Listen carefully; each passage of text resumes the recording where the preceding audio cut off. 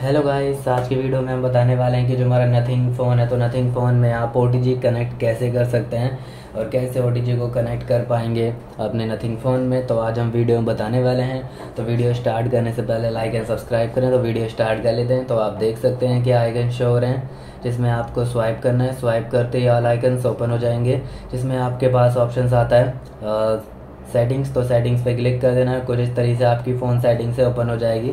तो ओटीजी कैसे कनेक्ट कर सकते हैं अपने फ़ोन में? तो सिंपली आप देखते हैं सेटिंग्स आ रही है तो आपको यहाँ पर O T G option click कर देना है कनेक्टेड डिवाइस पे।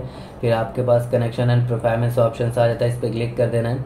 क्लिक करते जब आप स्लाइड करते हैं तो improve O T compatibility option आपको मिल जाएगा देखने को, जिसको आप कुछ इस तरीके से ऑन कर सकते हैं। और ऑन करके आप इसके ज़रिए मतलब फ़ोन में ओ टी पेन ड्राइव को कनेक्ट कर सकते हैं। अपने जैक पे, जिससे आप अपने फ़ोन में एक्स्ट्रा स्टोरेज बना सकते हैं और इसका यूज़ भी कर सकते हैं, जिससे आपका ओटीजी है कुछ मिनट तक आप इसका यूज़ कर पाएँगे और ये ऑटोमेटिकली डिस्कनेक्ट भी हो जाता है।